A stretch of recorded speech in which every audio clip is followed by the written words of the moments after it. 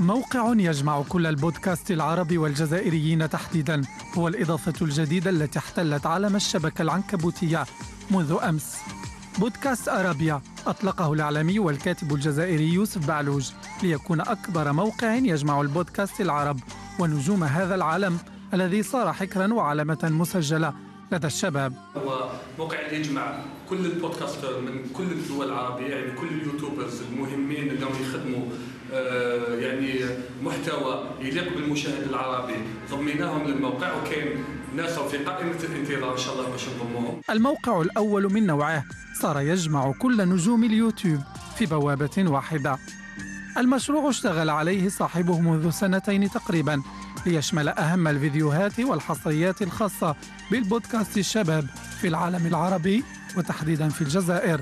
وتم الترويج لها عبر مواقع التواصل الاجتماعي خاصة تويتر وفيسبوك لإبراز أهم ما ينشر على يوتيوب في مجالات عدة. أهمها الفكاهة والنصائح والتكنولوجيا ومجالات الإبداع. مبادرة اللي تخلي آه، المنتجين يلتفتوا أكثر لهذه المواهب الشابة اللي تشتغل بإمكانياتها الشخصية ويقدم حاجات يعني على قدر كبير من الاحترافية. واختار يوسف بعلوج للموقع شعارا أو أيقونة لأبو طربوش وهو يبتسم على طربوشه ترددات كدليل على النت وعالم التكنولوجيا.